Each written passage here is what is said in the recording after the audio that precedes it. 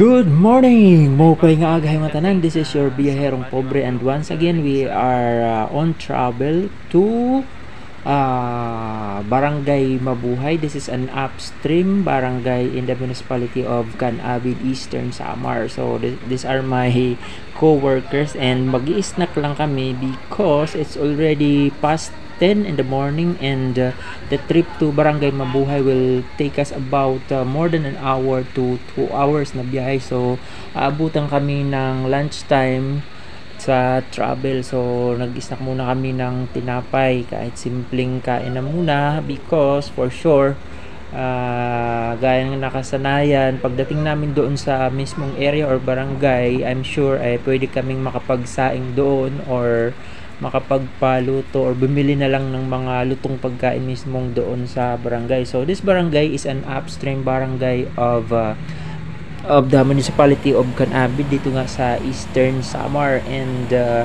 we are going to conduct an interview uh, a series of interviews doon sa aming mga respondents or sample for our, for one of our research project dito sa aming opisina. So uh, we are traveling by by the river but actually we can travel by road through habal-habal or single motorcycles but we do not feel safe traveling through habal-habal or mga single na motorcycles because the road to Barangay Mabuhay is not yet that uh, ano, hindi pa talaga maayos. And also madami yung mga pataas pababa na mga roads and uh, kukunti lang yung nagtra-travel doon na uh, actually nakakatakot na sumakay ng tricycle kasi nga mahirap yung pataas tsaka sa pababa na mga daanan. If we talk the route na sa ano sa mismong daan kasi bagong open lang yun ng daan. So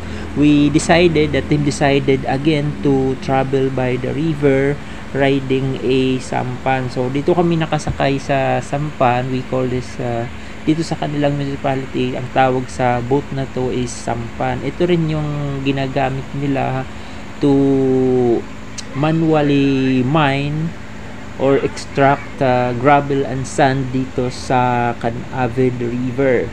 So again, as I have said earlier, our travel or our trip to Barangay Mabuhay will take us about one and a half one and a half hours to two hours na travel by the river.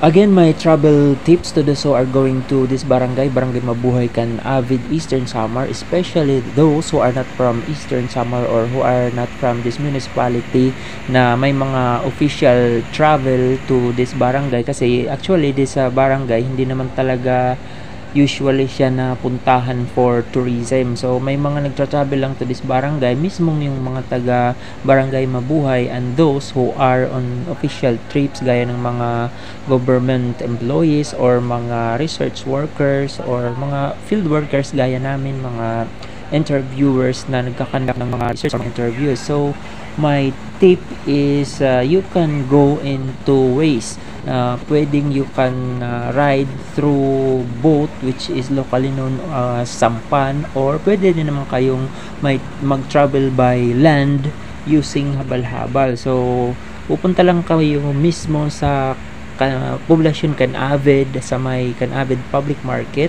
and baba lang kayo if you are going to take a boat or sampan baba lang kayo at dito nyo na mahanap ang mga sampan or boats going to Barangay Mabuhay and other uh, upstream barangays of Canabid Eastern Samar. But uh, riding a sampan or boat will take you about uh, more than an hour or to, up to 2 hours travel by the river.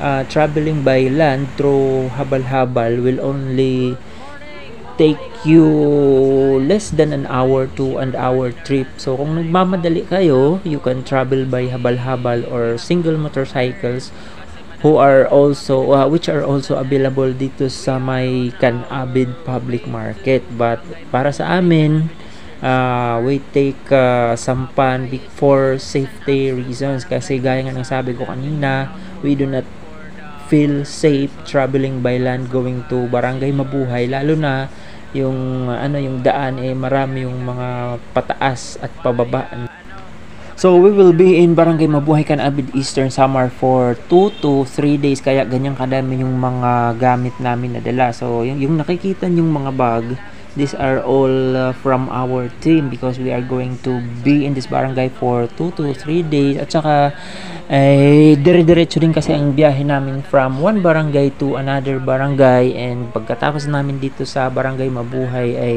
lilipat ulit kami doon sa aming sam- ibang sample barangay. So may mga nakikita na tayong ano mga kabahayan. I think this is already barangay Mabuhay eh, hindi ko lang matandaan kasi ilang buwan na rin kami ng huling makapunta dito. Kasi kung minsan yung ibang lugar eh ilang buwan lang or ilang ano na last kayong nakapunta kung minsan malaki na yung pagbabago for so many reasons. So kung minsan yung pagbabago ay maganda minsan naman ay hindi ganun kaganda.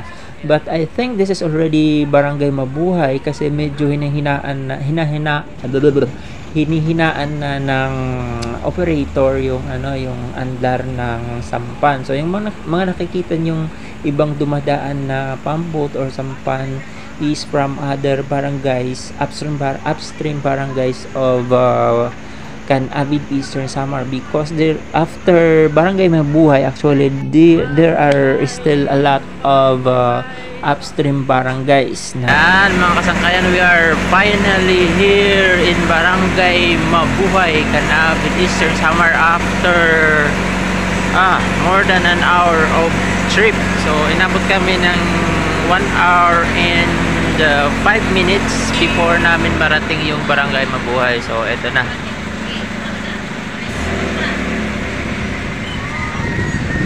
maya maya lang bababa na kami ng sampan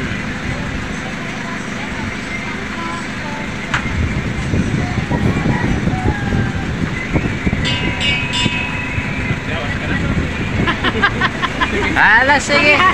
Imang bit-bit ko, no. Gamit. Kasi, nandito na tayo sa Barangay Mabuhay. Diyan kami ngayon magtatrabaho. Siguro, ano, uh, ano, aabuting lang kami dito ng isang gabi. Dalawang araw, isang gabi. So, dito kami matutulog sa barangay na to. Yan, may ano sila. Kasi madalas kasi na binabaha yung barangay na to. Kaya may, ano sila tawag dyan? Gauge or marker, I don't know.